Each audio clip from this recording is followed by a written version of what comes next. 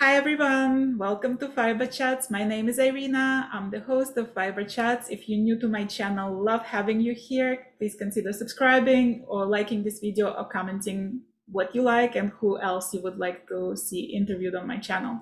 My guest today is a Danish designer concentrating on needs for men specifically from Hands-on Knits, Ditte Horndrup.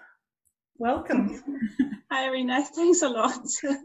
okay, say your name yourself because I definitely mispronounced that. of course. And I, I won't even say my middle name then. I'll just my first and my last names. I didn't want to. I'll work on that. It's a very small town in a part of Jutland in Denmark. So, well, welcome. Um, Thank you. So, tell me why men's fashion? Oh, I think um, there are several reasons for that, really. Um, one major reason is that I always liked men's fashion. Um, and even as a youngster, I would wear uh, sort of classic menswear.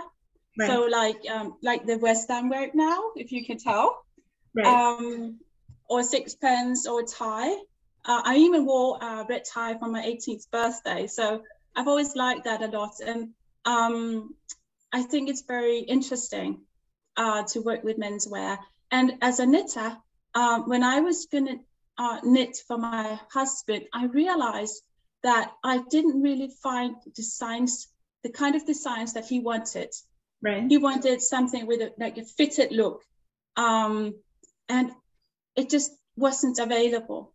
And I realized that my interest in menswear and the lack of what my husband wanted was actually it was a major reason uh, for me to start focusing on men's knitwear. Right. Uh, so basically, I want to offer what I would wear uh, myself uh, as a man, or which I I would probably even wear anyway. But um, also what I think is somehow missing uh, within knitwear design. So, and I just I really like um, the construction of menswear. Well, so, let's go back a little bit. Mm-hmm. So, yeah. Talk to me about how you started knitting. Like, when did you find found out about knitting? Oh, oh, that was way back uh, when I was uh, a girl, a little girl. My mom taught me, and um, I made the the cowl thing. Um, that was back in the 80s, so it has sort of a rust color uh, thing. It was very itchy as well, um, and I wore it all the time. actually my dad had stored it for me, so I found it 10 years ago.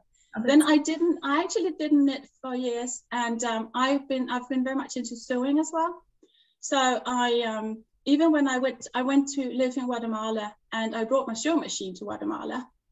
Um, then I came back and I just realized that it was, it's quite noisy uh, to have a sewing machine in the, in the living room. And all of a sudden it struck me that I might be ready for some serious knitting. And so I started knitting uh, back in 2007 when I came back from Guatemala and right. became part of a knitters group in Copenhagen. And so I just haven't stopped knitting since. so how do you go from just knitting for yourself or the, for friends mm-hmm. and family to deciding to go into design? I think it's um, what I realized was that first of all, I always customize the patterns. I never followed the instructions. Um, and part of the reason for that is that I'm not standard size myself. So I've got long arms, I've got a long back, and I just, you know, also when that's what um, what made me start sewing actually was that I'm not standard size. And so I would customize all the patterns. And then I realized that it's a lot of creativity um, to do that. And it's it's like if you if you like cooking, you understand the freedom of being creative when cooking instead of just following a recipe. And it's exactly the same um, that happened when knitting. And so I just uh, I realized that I needed that creativity in my life um, and the the freedom of designing. And so I started basically designing for my husband because um, he's very critical uh, about what he wants to wear. And I realized I really enjoyed that process. And I like all parts of the process. I mean, I like drawing, I like um, calculating sizes, I like thinking through technically, I like the yarns, Um, so it's sort of uh, it's very fulfilling. Do you remember that very first design you did? Yeah, yeah, I did, and he he hasn't worn it. what was it? I, I, yeah, I think it probably has to do with the yarn choice as well, because he said I want something really, really warm, and to me that means really, really warm. But it doesn't. Is his uh, to him it means something a little warm. But it's actually uh, it's a it's a pullover that I made for him, but it was very thick and very itchy as well. But that very same design idea, I'm actually uh, still working on this now for like in a thinner yarn and the pattern will actually be released in October now. Oh, that's so but I designed that like 10 years ago and it just never, I never finished that design. I knew that the design was good. I just needed to rethink it a little. So now it's a, working. It's going to be a finished design for others to knit. Yes. Mm. So you mentioned the itchy yarn twice. Yeah. yeah. Since then, do you think you became the yarn connoisseur? Like, do you feel like you're becoming more uh, critical about your yarn choices? Oh, very much, very much. I mean, I would, um, at that time, I would, it was actually quite an expensive yarn, but I had no knowledge about fibers. Um, the, uh, what I do now is that I like colors a lot. So the color scheme matters. But I also, from the beginning, I did make the decision that I was only going to work with sustainable yarns. Right. And so, because to me, environmental issues uh, matter a lot, and also um, the way it's produced all the way through the product cycle. So I do often use a GOTS certified yarns, um, but it doesn't have to be certified because there are so many yarn producers that are in process and they need support as well. So the most important thing is that the ethical standards and the goals or the visions for the yarn producers as well, because uh, you are allowed to be on on on the road for something. Um, but I do like uh, certified yarns because it makes it so much easier for consumers to make the choices. Um, but I support all kind of yarn producers that take ethical standards and environment um, seriously. I wanted to show also that you can actually make uh, fashionable items with sustainable yarns. Right. Mm. So let's talk about colors a little bit. Yeah. Do you approach colors from what you would like, or do you approach colors from like what do you think men would like? Um, both. I I think I mean I lived in Latin America, in Guatemala and Ecuador, and they uh, have very um, very flexible uh, understanding of colors. So they like strong colors in general, but they also, the way they combine colors are very unusual to me, uh, coming from a Nordic country. Now, having said that, uh, I was born in the 70s and I was always wearing mustard color or brown um, colors because there were no girls or boys colors at that time. Right. Uh, now I have two children and I understood that times have changed a little. So now blue is a boy's color and pink is a girl's color. And that I think is really um, something that we should um, work with. So I actually like to um, to challenge people a little on the uh, the color choices they make. Uh, I don't think we should get stuck in those categories uh, about colors. And I myself, I like to. I mean, I always had an issue with the color blue for some odd reason. So I challenged myself, and now I'm uh, working with the color blue a lot uh, because it's a beautiful color as well. Right. Um, but I do uh, consider a lot um, what I think other people, um, what could make other people think about their color choices. But because I'm very tolerant towards colors myself, I mean, all kinds of combinations. Um, and I think it also has to happen with uh, it has to do with the dyeing as well of the color and how the the light uh, sh- shows the color um, but it has helped me a lot that my husband is also has influenced me a lot with regards to color choices right mm. so when it comes to gender perception of colors mm. um, who gives you more hard time men or women about colors do you find um, more comments coming from women that like oh this is not for guys like or do guys ever comment on these colors are not manly? I i actually think that um well i think because i if you talk about male knitters i think in general they are as interested in colors as um, women knitters are because once you start knitting you understand the variety of the color red.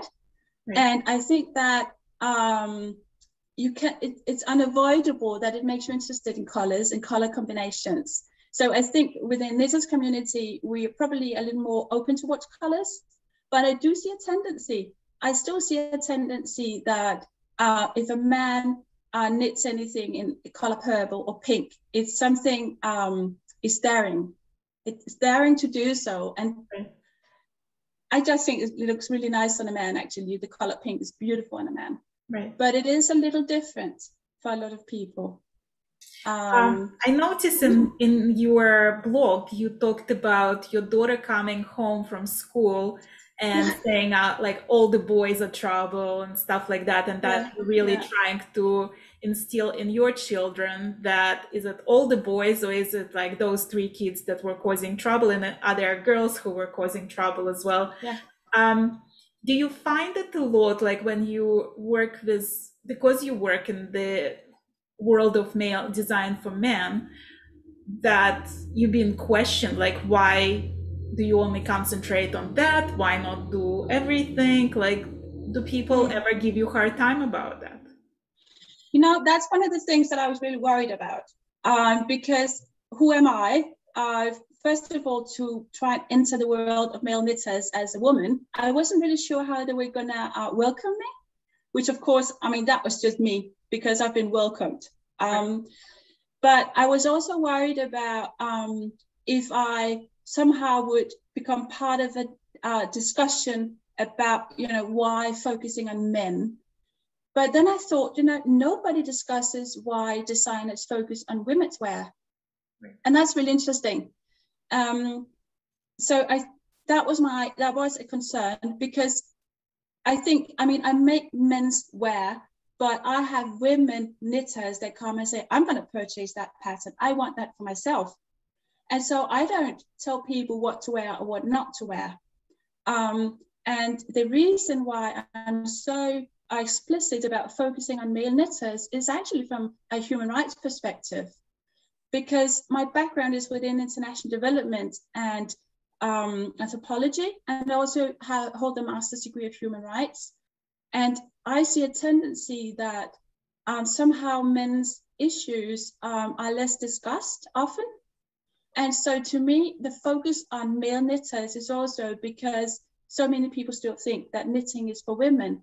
So I want to show the all the, the great I want to show first of all that there are many men who knit and also the great variety of male knitters. So in short, uh, no, I was worried. I haven't had any issue. I've been welcomed by women and men alike. I mean, there's never been anything. Right. So you mm. use a lot of male test knitters for your pattern. Do you yes. specifically pick men to test knit your your uh, patterns, or is it just happen that there are so many volunteers? I, I welcome male knitters in particular, um, and that's for two reasons really. Um, one is that it, when I use a male knitter, it's a test knitter that is able to both give me feedback as a knitter, but also as the wearer of the garment. Right. So that's one very good reason. Uh, the other reason actually refers to what I, I said just before that I want to show the variety of male knitters. Um, so that's also why I make the guide on Instagram on guides who guys who knit because I want to show that it's for all age groups, all kinds of men. Um, but I don't discriminate. I do have quite a few female test knitters as well, um, very good ones too. But I I do want to promote male knitters. Um, how do you come up with the ideas for design? Like, what drives your designing process? Uh, different. It's very different. I mean, I often um, I wake up at night. I've got an idea, or I I watch somebody uh, in walking in the street. I also um, actually some of the designs that I'm I'm working with now are collections that I worked on uh, when I did the knitwear design education. So I just you know I sort of develop collections and now I work my way through each piece. Um, but so it can be all kinds of I don't know. I think it's once you actually open for those creative uh, juices, it just pops into my head. Sometimes it's a yarn, it's a particular color or someone who passes, it may be a woman, and, and there's a detail on her clothing that just gives me a lot of ideas. Or sometimes I'm swatching uh, for a design and make a mistake and then got a new idea.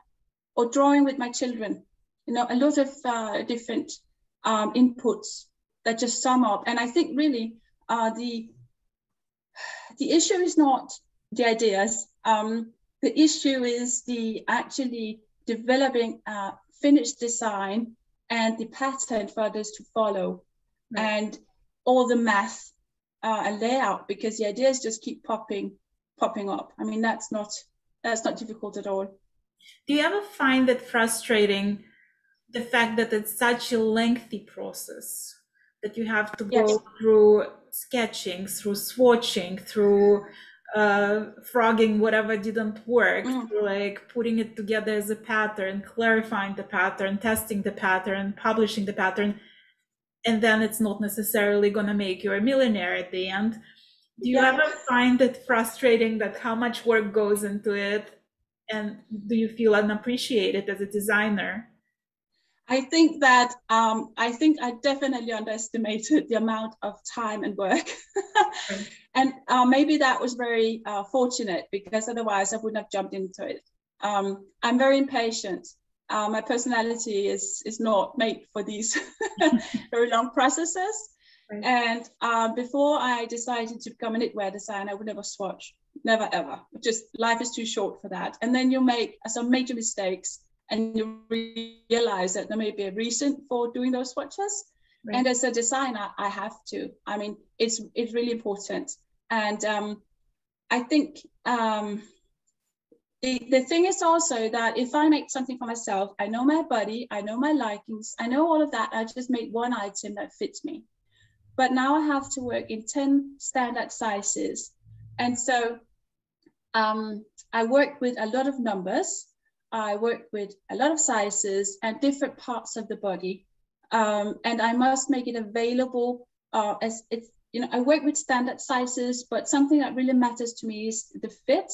Not only that it is fitted, but also that the uh, purchase of the pattern um, is able to customize it to the likings, but also to the shape of the body. So I do, um, in all my patterns, I give instructions because I really want to tell you how you can um, in a very simple way um, adjust the pattern because as a designer, I know my pattern very well, but as a knitter, you only just saw it.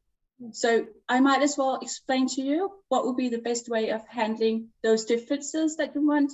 Um, and so I, I do my utmost to actually help people. And I think that comes back to me as um, I not a standard size myself and also my interest in sewing.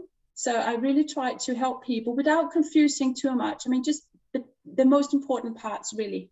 Um, uh, because I think, and that's also part of the um, sustainability thought, is that if you use a really nice yarn, you use the time, and it has a really nice fit, then you will wear it with proud for many years to come. Mm-hmm. And I think we should be proud of, of our hand knitted garments. Um, and it's also because I think it makes people just feel better. How did you learn all the grading? What was your process of learning how to like grade the sweater or grade the trunks that you made? It is, you know, I that's a very good question because it's uh, it's actually really really difficult. Right. And um, what I do is that I had some standard sizes and um, I boil them down to 10 sizes uh, to work, just, just to work with only 10 sizes. Um, and then I, I, it's a lot of trial and error as well, because what looks good in your Excel spreadsheet doesn't necessarily work well with the human body. Um, so there's a lot of calculation Um, and for instance, I'm doing these uh, the pink uh, trunks for men, the um, pattern that was almost ready for test knitters now. Um, and so I actually, I've, well, the pattern is ready, but then all of a sudden it struck me that I had a very strong urge to actually finish my own test knitting completely before sending it off to the testers because I realized that um, it's not as the construction is not that difficult in itself, but I need to see the finished garment on a male body. I need to see if it works. Right. And I don't want to waste my test knitters time. Um, so I'm actually test knitting it, you know, these days because I really need to see if it works. Because I've done the math and I've been very thorough, but does it work in the end? Um, and that's always, and also part of it is just a matter of likings, you know, what kind of shoulder constructions and things like that. But I do have standard body uh, measurements that I work with, and then I explain how to adapt it to your to your own body um, when you knit it. Let's talk about those trunks. So they're like this sexy little thing that your husband was modeling for you. Did he ever um, mock you about them and was like, why, why, like you can go to store and buy perfectly fine pair of underwear for a few euros. Like, why would you spend all this time and effort and to knit it? And where would you is it going to be like everyday wear with all that brioche in the front? Like what was oh those those are the shorts. Oh yeah the adam and fry shorts? Okay because the trunks are the ones that are coming up the uh, Adam and Fry shorts are the uh, two color brioche that i just released actually when i well we got to my husband uh, he's not a knitter but uh, he looked at it and it was very clear that he didn't really get the grasp of the idea. and I said, this, this is going to rock the world. I love it. Um, and then he has tried it out quite a few times. And he told me, you know, you can knit, you can knit a pair for me too. He's like getting the customers because what happens is, and that's why the, fit is so important to me because they are extremely comfortable to wear. Right. I mean, the cast on is made so there'll be nothing too tight. I'm, I'm very uh, careful with those things. I mean, I the designs I do, they might be for fun, but they are perfectly wearable items. Right. Me, I mean, I don't make designs for myself. I make it for men. So it matters to me what men think. And that's why I usually do a mock-up. I mean, I do a sketch and then I ask my followers, I say, what do you think? And then I actually, uh, all the inputs I get, I go back, I draw a new sketch, and then I start thinking the pattern. So for instance, um, I posted the idea about shorts and I said, you know, what would be the length of the legs? I was thinking, and I, I put, I don't, I don't remember how many uh, centimeters. And then one of the guys, he came back and he said, no, no, no, no, no. For shorts, you will, we want no more than 10 centimeters on the legs because I've been doing workout all winter. I'm going to show off those muscles. and I was just, I was pleasantly surprised because here I was as a woman, I wanted to cover, you know, those more right. uh, soft parts of the body. But he had a different approach. And that's why I do talk to, to all my followers because their input is really valuable. Right. Um, and so I went back and then I made the short shorter, um, realizing. But it, it's very interesting that, you know, and, and that's what, um, you know, in those gray days where you're down and it's a lot of hard work and difficult to provide for your family. Uh, it does matter a lot when I get those comments because they keep me going. You know, they, I, I, they, I have men that come back to me and they say, it's not always in the comment field. Often it's a direct message, and they say, you know, thanks a lot for doing this. We need you. I love the way you work, and thanks for taking this seriously. You know, they're really happy with what I do, right. and that basically keeps me going. And that's also why it's so um, is so valuable that they it the designs I make I come up with an idea, but then we work around it together. Um, because it's for it's for them, it's not for me, basically. Right. Um, and also they come up with design ideas. Once in a while I ask for ideas and they come up with ideas. Have you ever had a design that you thought is going to be received very positively and there was no interest in it? Yeah, but I think it's um, the issue is also that um, you know, it's like I think all knitters have a pipeline of projects. Right. And so they may like what you do, and you may be queuing in that pipeline. And so you cannot expect, I mean, I don't have a big name yet. Um, I don't have like half a million followers. So it's uh, it's a niche that I'm developing. Um, and I think it's like, you know, uh, slowly you make it through that pipeline, you queuing, and then eventually um, you'll be next in line. Um, so what matters a lot to me is not um, if it's purchased straight away. What matters to me a lot is the co- are the comments, the feedback that I get that I'm I'm actually uh, you know I'm heading the right direction, uh, because it just takes time. I I know that from myself that so many gorgeous designs and so little time, and so when people do purchase the pattern, I really um I'm very proud because it's not the money. It's not. I mean, a pattern is not a huge expense. To buy patterns not a huge expense. What what really makes me proud and humble is that this person is now going to spend a certain amount of hours on knitting this. I mean, just the Adam and Fry shorts, it's two colored brioche. You know, it's not a quick knit neither. Right. Um, so that somebody's going to sit down and do this for himself uh, it's just uh, it really gives me you know um, it makes me proud really it does have you had people like need your items posted on their social media and you like didn't even expect to see it like do you have those moments when you like suddenly being tagged and somebody posts and you're like oh my god it's my pattern it's very nice yeah and, and i think actually the um the color choices are always interesting and especially with two color brioche, um, because you know so di- so many uh, different expressions. But I also think the way it's styled, I the, the kind of photo they decided to take, uh, that is also very nice. I think to see because you you just uh, get a glimpse of the personality in those photos, which I think is very enjoyable as well. Um, and actually to um, to see a photo where um, they're wearing the garment is just that's what makes you happy. It really is. Right. Um, do you do you have issues with taking your own pictures like when you decide to how how you're gonna showcase your new upcoming model do you ever get frustrated with like taking pictures and showing them to the best of their look yes it's very difficult for me um, I never took photos until I actually, um, and I wasn't that active on social media. So it's been a completely new language. Um, but it does matter a lot. And I, I just realized that you have to um, think in colors and light uh, because knitters want to, uh, you, you know, you, you want um, a nice photo, but you also want to see details, or what I do at least.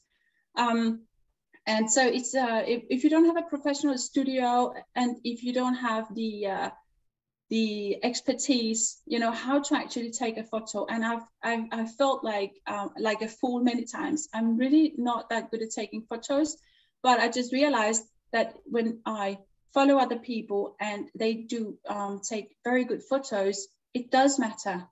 It is really nice. Um, so i'm it's a it's a continuous work to improve um, on the photo um, part of it, but it's very difficult for me. So, like, you look at yourself as a designer from 10 years ago to now, right? Mm. How did you change? Um, less insecure. I think um, I think the most difficult part has been to make the decision to uh, to focus on menswear and male knitters. I mean, that was so scary um, because you, you know when I said you know I'm very interested in menswear and male knitters and male knitters, people would you know give me that glimpse. Uh, you know, it's like, are you from outer space? I was like, no, no, no, there are plenty of men who knit, and so I was very insecure. But I, I feel that I sort of um, it feels good. I made a good decision, and um, I started in the beginning. I thought I was going to focus on women's wear. Um, and then I just realized that it wasn't really it wasn't really what I wanted. And then I started looking into men's fashion and I just realized that, you know, it's calling me. Um, so since I made that decision and accepted that's what I want to do, I've just felt a little more secure every day on what I'm doing. Um, and especially when then people come back to me and say, I really like what you're doing. Mm. That it just makes you feel good. Because it's also it's it's both a matter of what your focus will be, but also the style. I mean, what kind of men's fashion are you then looking at? So right. it's a longer process. Hmm. So besides spending your time, and I'm I'm talking about significant amount of time on designing, testing, yes. publishing, yeah. and all of that, you also have a household to run, two children of school age, and a garden. Yeah. Yes, and the garden is not located where we live. Oh. So we uh, we go by bicycle 12 and a half kilometers each way, uh, which is absolutely ridiculous. it's a lot of work. Uh, we hold 200 square meters of uh, kitchen garden. Yeah. Why did you decide to start a kitchen garden? I mean, is that was that always your passion to garden? Yeah, I like yeah, and we grow vegetables. I mean, the flowers are sort of my my husband. I'm I'm into things that are edible. Uh, I've been I've been a vegetarian for many many years. I think since the age of 18, and so to me it was just natural to grow my own food. Um, and he he he always liked it as well. So it's uh, but when having children and we don't have a car, uh, of course one has to consider the amount of time available for these things because it, it is a lot of hard work. Mm. Um, and the season in, in Denmark is fairly short. Um, so it's very intense for uh, some months a year. Um, but then we also decided that exactly because we have children, we needed to, to maintain the garden because we really want to show them um, how to grow vegetables and how to take care of nature. And I mean, we collect garbage to bring to the garden and all that. We thought that was really important. And it's also, you know, we live on the third floor. So it's very important for the children also to to be out with us in the garden and um, observing insects. I mean, they catch insects a lot in the garden and, and help us. But it is hard work. Mm. Do they have chores? Do they expect it to do certain things, or is it like all fun and games for them? Uh, they are expected to do all sorts of things, but they don't. they are so busy. Uh, but you know, then you see them uh, pick vegetables and eat it straight from the earth, and it just make you know they or the soil and they, they pull out a carrot and eat it, and then I know that you know that's the most important thing. That is the most important thing. Or you, um, you go and have an asparagus, or you know just learning these things, enjoying um, looking at all the different insects we have, or the birds, or the bats, even at night and so that is the most important thing. But we try we try to uh, include them in in the labor but uh, they're giving us a hard time. Mm. how many kinds of vegetables and fruits do you grow in there? Oh, oh my. Um, we have like we also have a lot of different kinds of beans. Um, oh my, we have uh, fruit trees, we have um, different kinds of vegetables, like different kind, kinds of potatoes, kinds of carrots, uh, lettuce, we have um, different kind of onions, berries, tomatoes, because it just, um, the, the idea is to show the variety again, that yes, a tomato can be yellow, uh, because what you what you buy in a food store is so standardized. So we want to show that. And for instance, when I lived in Ecuador and I had um, white mice, mice, um, that was the first time I experienced that. Um, so that really uh, that was thought provoking. So we're showing the children that um, they they different sorts of vegetables can have different colors, different taste, um, and so we'll have a great variety of the same kind of vegetable as well. Um, and then, of course, we're a little limited by the climate in Denmark, but we do have a fig tree, for instance, uh, um, and a lot of different berries because you also want to make the season longer so that you can actually um, pick your fruits for a long period of time and vegetables almost all year round.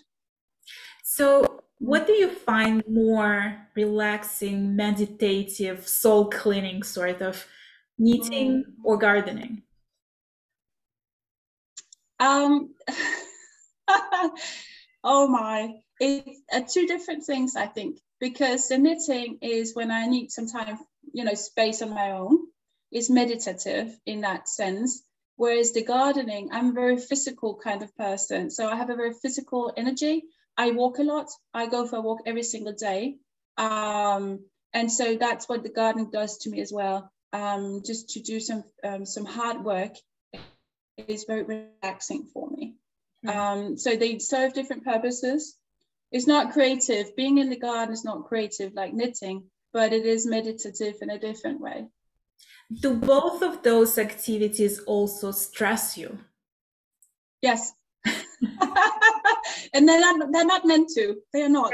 But they do. And I think part of it is that, for instance, again, because of the climate in Denmark and harvest season, we are busy, busy, busy uh, a certain time of the year. Um, and then after harvest season, we must also sort of uh, prepare the garden for the winter season. And then spring comes and you have to prepare it for gardening again.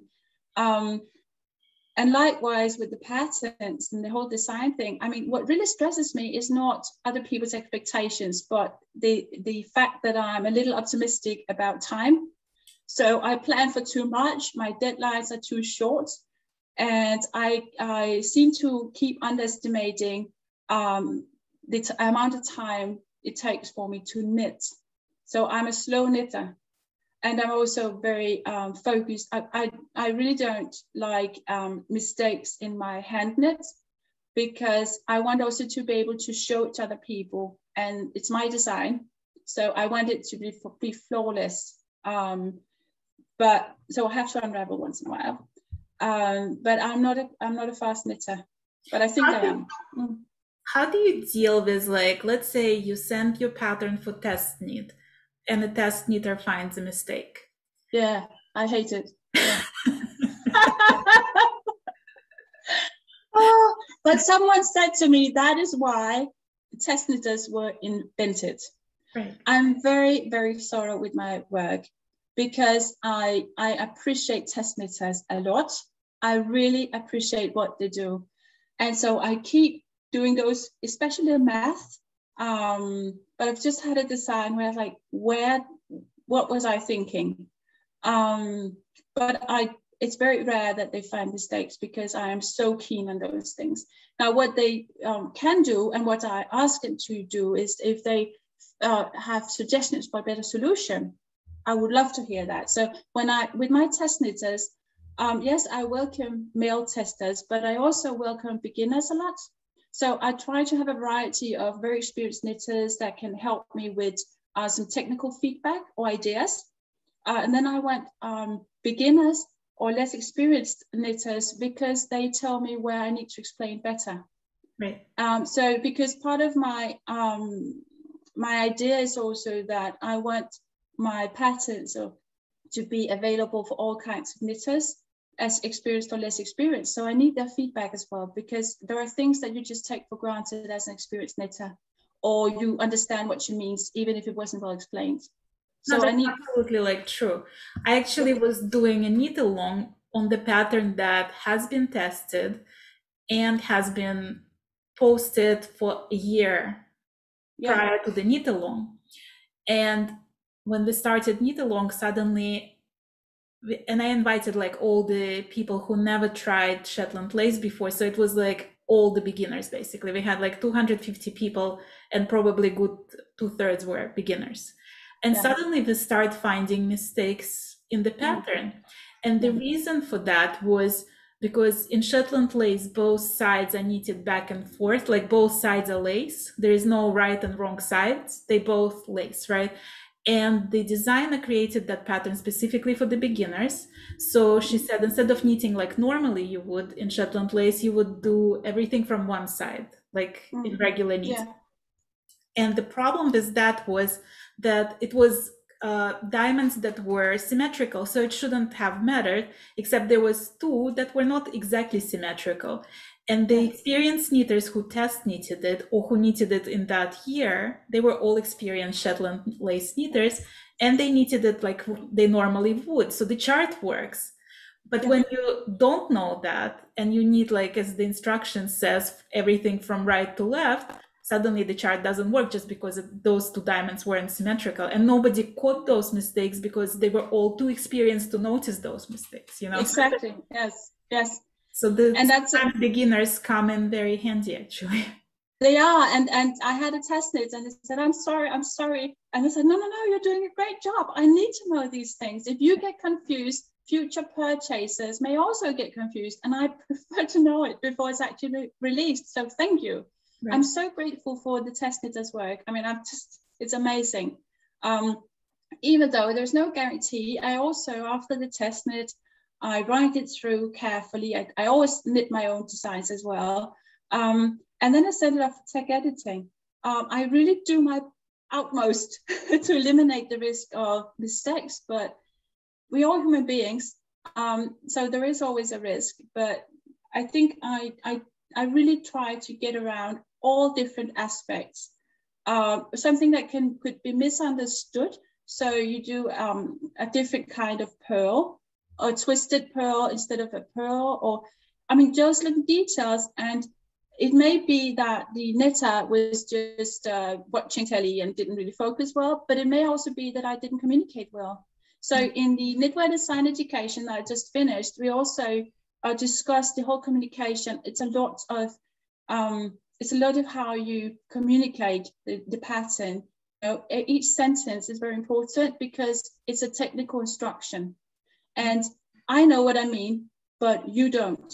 So my job is not only to make a beautiful design um, and make all the math, it's also to communicate in a manner that uh, cannot be misunderstood or is most likely to not be understood, misunderstood by knitters, all kinds of knitters. Right. Um, and that is that is a task, really it is. But that's also why I do a lot of tutorials myself um, from a YouTube channel because I just realized that things that may be basic to me are not necessary to others. And if um, if you're Danish speaking knitter um, and you can only watch tutorial in English, it may be a little difficult to grasp um, and so I that's why I eventually I do tutorials myself, even if it's also very time consuming, because I want to show exactly what I mean right. in this pattern. And it may be a well-known technique, but I may twist it a little. But people cannot necessarily understand that from, from the um, the pattern. And so they can always go and have a look at the uh, at the tutorial. Right. No, sometimes it's much easier because people are like very visual, so it's much easier to exactly. see and understand exactly. how it works. Yes. Yes.